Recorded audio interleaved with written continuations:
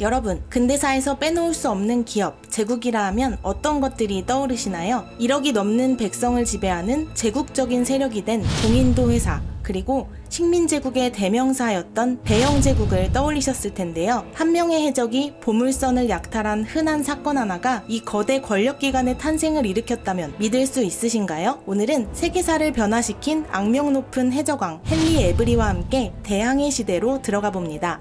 17세기 유럽이 세계 곳곳에 신항로를 개척하던 시대 당시 영국은 해적의 나라라는 이미지를 갖고 있었는데요. 그도 그럴 것이 유명한 해적 중에는 잉글랜드 출신이 많았고 심지어 영국 왕의 비호를 받으며 해적질을 하기도 했습니다. 1600년에 설립된 영국의 동인도회사는 이후 부유한 인도 땅에 무역사무소를 개설한 후였는데요. 이 신생기업은 훗날 광활한 인도를 지배하게 되고 결국 19세기 대영 제국의 기틀을 다지는 막강한 기업이 됩니다. 이런 시대적 배경 속에서 주인공 헨리 에브리가 역사 속에 본격 등장한 것은 영국의 돈 많은 투자자 제임스 후블론이 스페인 난파선을 인양하는 사업을 추진할 때였습니다. 제임스 후블론은 스페인 난파선을 인양해서 한몫 두둑히 챙기기 위해 특별히 대포 40문을 장착한 찰스 2세호를 주문합니다. 스페인 원정에 참여한 찰스 2세호의 1등 항해사는 바로 훤칠한 키에 우람한 체구를 지닌 30대 후반의 헨리 에브리였는데요. 그가 200명의 선원이 탄 4척의 배를 이끌고 항해를 시작했을 때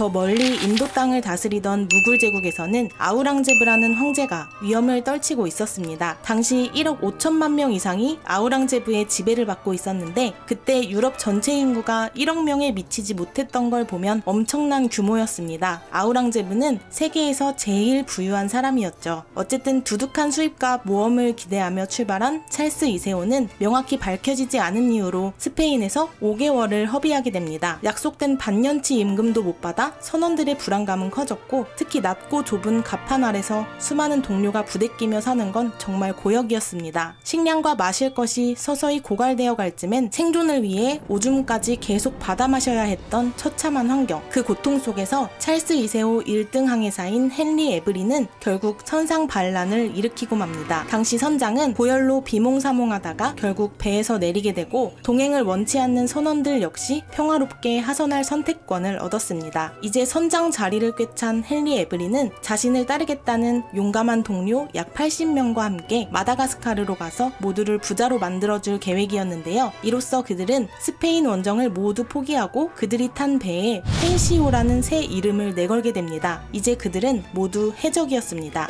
펜시오의 선장이 된 헨리 에브리가 제일 먼저 한 것은 획득한 보물 분배에 대한 규칙이었는데요. 해적들 사이에는 평등주의 원칙이 있었기 때문에 아주 공평하고 간단하게 에브리는 2, 나머지는 모두 1씩 가지기로 합니다. 또한 해적 공동체의 평등한 관계를 위해 혼자만을 위한 선장실을 없애버리고 선원 들과 같이 하갑판에서 잤는데요. 이 과정에서 팬시호는 더 빠르게 이동하도록 날렵하게 개조됩니다. 점점 진화하는 헨리 에브리의 해적선 중간중간에 영국 선박이나 덴마크 선박을 침략하는데요. 이때 투항한 상대쪽 선원들이 에브리 해적단에 합류하면서 치열한 전투에 필요한 인력을 점점 더 충원하게 됩니다. 1695년 새해 초 어느 날 약 8,000km를 달린 팬시호는 마다가스카르 남쪽 해안에 성공적으로 도착합니다. 이때 인도양 반대 쪽 수라트 항구에서는 무굴 제국 황제 아우랑제브 소유의 무역선이 정박해 있었는데요. 이 황제의 배는 건스웨이호라고 불렸습니다. 아우랑제브가 무슬림의 연례 행사인 성지순례 때 자신의 직계 가족과 고위 관리들을 메카까지 태우기 위해서 만든 배였는데요. 세계 곳곳에서 몰려들 수백만의 순례자들에게 세계 정복자 무굴 제국 황제의 위엄을 한눈에 과시할 만한 아주 웅장하고 호화로운 유람선이었습니다. 이때는 수에즈 운하가 완공 되기 수세기 전이었기 때문에 1695년 메카를 순례하는 배들 그리고 홍해로 교역하던 배들은 바브엘만데브 해협과 아덴만을 꼭 지나가야만 했습니다. 그 말인즉슨 이곳이 해적들에겐 최고의 사냥터라는 뜻이었죠. 아덴만을 오가는 물동량이 많아지는 늦여름만 기다리던 에브리가 드디어 아덴만에 들어서자마자 무굴 제국의 분해를 막고 순례단을 사냥하러 온 해적단이 한둘이 아님을 눈치챕니다. 특히 뉴욕에서 출항한 애머티호에는 전설적인 해적 토머스 튜가 키를 잡고 있었죠. 서로 비슷한 고민을 하던 여섯 척 배의 선장들은 결국 한데 모여서 다 같이 힘을 합치기로 합니다. 정말 놀라운 건 그들이 연합하면서 선택한 리더였는데요. 누가 봐도 경력이 출중한 토머스 튜를 누르고 에브리를 총사령관으로 추대한 겁니다. 이로써 에브리도 함대를 갖추게 됩니다. 그리고 1695년 6월 무굴 제국의 건스웨이호에는 아우랑제브의 왕실 가족이 타고 있었고 이 선상에 탄 수십 명의 여성들 중에는 아우랑제브의 손녀로 추정되는 무굴 제국 공주도 있었습니다. 그리고 때를 기다리던 에브리의 함대는 드디어 수라트로 이동하기 시작했는데요. 이동 중에 수라트에서 가장 부유한 상인의 보물선인 파트마흐 마마디오를 습격해 5년치 임금을 챙긴 에브리 해적단. 그로부터 며칠 뒤 드디어 망군이 거대한 보물선의 돛을 발견합니다. 저 멀리 건스웨이호가 수라트를 향해 다가오고 있었습니다. 천명의 승객을 수용할 정도로 위압적인 건스웨이호에는 80문의 대포, 수백 정의 머스킷 소총이 있었고 공격 각도도 유리했습니다. 에브리는 실로 중대한 결정을 내려야만 했는데요. 며칠 전 이미 5년치 임금을 벌어둔 상태고 건스웨이호는 쉽게 투항하지 않을 게 뻔했습니다. 하지만 에브리와 선원들은 용감무쌍했고 결국 최종 목표를 향해 다가갑니다. 1695년 9월 화창한 늦여름에 인도양 열대바다 위 팬시호가 무굴 제국의 건스웨이호에 가까이 접근했을 때 운명 같은 세 가지 사건이 거의 동시에 일어납니다. 첫째로 건스웨이호가 에브리 해적선에 반격하려 할 때 갑판의 대포가 폭발해서 여섯 포수가 즉사하고 건스웨이호가 대혼란에 빠집니다. 둘째로 에브리의 집중 포격이 운 좋게 건스웨이호 주 돛대를 때려서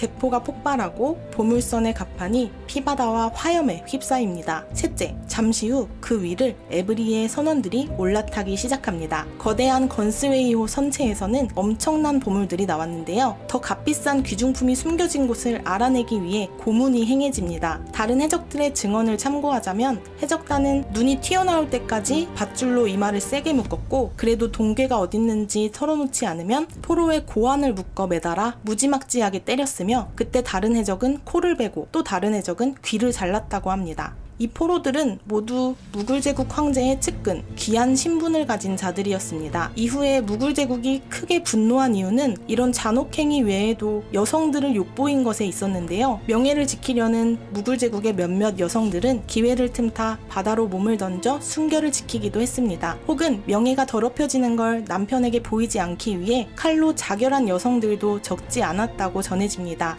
건스웨이호 위에선 비인간적인 학대와 살인이 번복되어 있었습니다. 훗날 증인으로선 필립 미들턴의 증언에 의하면 헨리 에브리는 9월에 그 격렬했던 며칠간 건스웨이호에 한 번도 승선하지 않았다고 하는데요. 이때 건스웨이호에 타고 있던 무굴 제국 공주와 헨리 에브리의 러브 스토리가 민간에 전해지기도 합니다. 이 이야기에 따르면 해적들이 베일로 얼굴을 가린 아우랑제브 손녀의 진짜 신분을 알아냈고 공포에 질려 울고 있는 그녀를 에브리 에브리에게 데려갑니다. 아드리안 판 브루에크가 1709년에 쓴 에브리의 전기에 따르면 선장은 눈물로 범벅이 된 그녀를 보자마자 연민에 빠졌고 에브리는 무굴제국 공주에게 즉석에서 청혼했다고 하는데요. 명확한 진실은 알 수 없으나 에브리와 아우랑제브의 친척 간에 어떤 관계가 있었던 듯 합니다. 그것이 성적 학대였는지 혹은 로맨스였는지는 알 수 없지만 말이죠. 어쨌거나 헨리 에브리가 무굴제국 보물선에서 약탈한 보물의 가치는 당시 화폐로 20만 파운드,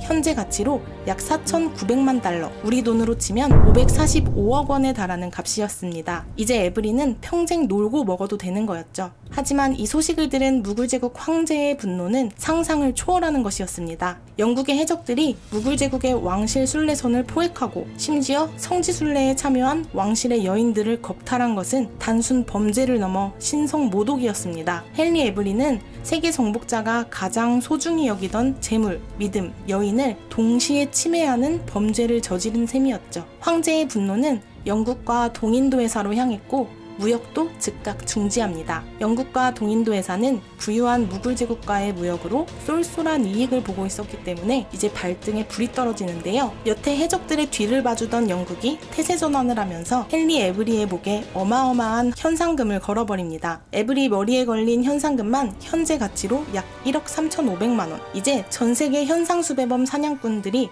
해적왕을 찾기 시작합니다. 동인도 회사는 같은 국적이라는 이유로 에브리와 한패로 몰리자 이래저래 심각한 위기 상황에 빠지게 되는데요. 이때 기발한 아이디어를 떠올린 동인도 회사가 무굴 제국 황제에게 새로운 제안을 합니다. 우리 동인도 회사가 앞으로 무굴 제국의 보물선을 해적들로부터 든든히 지켜주겠다는 겁니다. 이것으로 영국인들은 인도양에서 무슬림 보물선을 보호할 권한, 즉 법을 집행할 권한을 처음으로 얻게 되는데요. 이것은 영국과 인도의 관계를 새롭게 규정하는 힘이었습니다. 이후 헨리 에브리는 어떻게 됐을까요? 머나먼 섬에서 가명을 쓴 채로 노예를 사서 돈을 세탁하고 배를 버리고 선원들과 점점 작별하다가 마지막에는 처음부터 그를 따랐던 20명의 선원과 함께 아일랜드로 떠났습니다. 그리고 마침내 에브리는 이제부턴 혼자만의 길을 가겠다고 선언했고 선원들 모두 영국 제도의 곳곳으로 흩어져 갑니다. 하지만 결국 에브리의 동료 8명은 체포되고 말았는데요. 어떻게든 해적들과 선을 긋고 화가 잔뜩 난 무굴 제국과의 관계도 재정립하고 싶었던 영국 정부는 이 해적들을 모두 유죄로 판결내서 공개 처형시킵니다. 사실 두 번의 재판 중 첫 번째 재판에서는 영국 시민들로 구성된 배심원들이 에브리의 선원들을 모두 무죄로 평결 내렸었는데요. 지상 최대의 지명 수배자가 된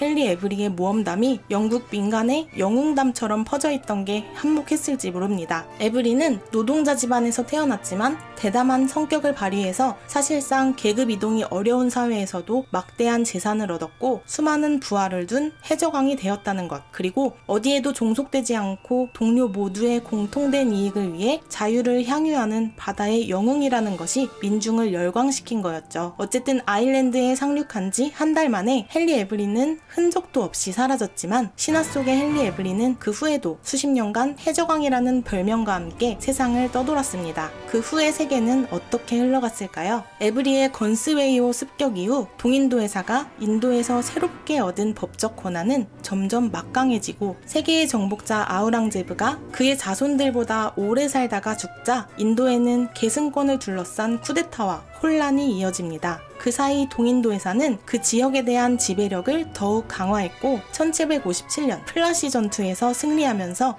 결국 인도 아대륙을 공식적으로 지배하는 기업이 됩니다. 이를 기반으로 대영 제국의 탄생이 이어지게 되었죠. 소수의 집단이 거대한 권력기관의 행보에 영향을 주는 일은 세계사의 곳곳에서 발견되곤 합니다. 한 해적이 붙인 작은 불씨가 근대의 제국주의로 번져갔듯이 오늘 여러분 역시 자신도 모르는 사이 인류의 미래에 영향을 줄 작은 불씨를 피우고 있는지도 모릅니다.